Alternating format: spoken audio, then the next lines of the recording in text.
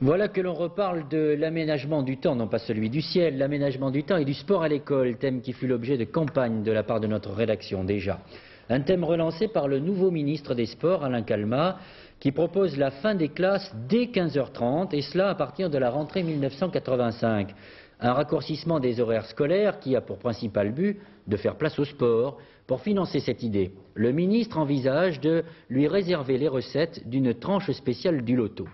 Le sport à l'école, qui, vous le savez, reste un serpent de mer dans notre pays, alors que certains de nos voisins, comme l'Allemagne fédérale par exemple, l'appliquent avec succès depuis bien longtemps. Michel Meyer. À deux pas des sièges de parti de la capitale ouest-allemande, une nouveauté.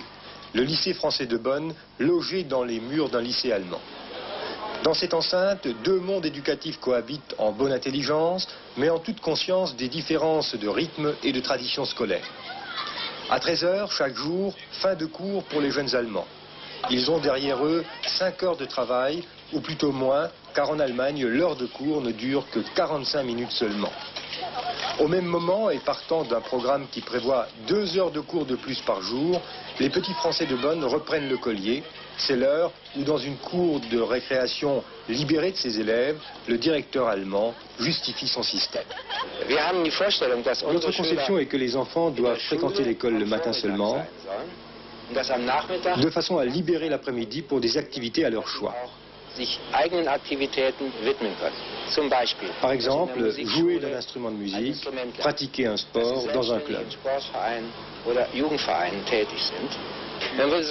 Nos enfants subissent autant de stress que les Français et les Anglais, mais ils ont plus la possibilité de se développer de façon autonome, pas seulement en fin de semaine.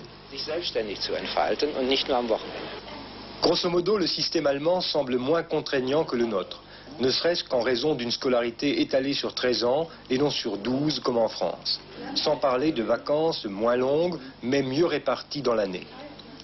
Au sein des classes allemandes, une ambiance assez décontractée, une discipline plutôt relâchée, en contradiction avec les clichés relatifs au caractère allemand. Il y a contraste avec l'atmosphère plus studieuse de la salle de classe française voisine. Autant d'observations qui ne sont pas sans signification sur le fond, sur la nature de l'enseignement. Les Allemands ont une façon beaucoup plus libérale d'éduquer leurs enfants. Il y a beaucoup moins de surveillance. Les Français aiment bien que les enfants soient encadrés, euh, ils aiment bien savoir où ils sont et exactement ce qu'ils font.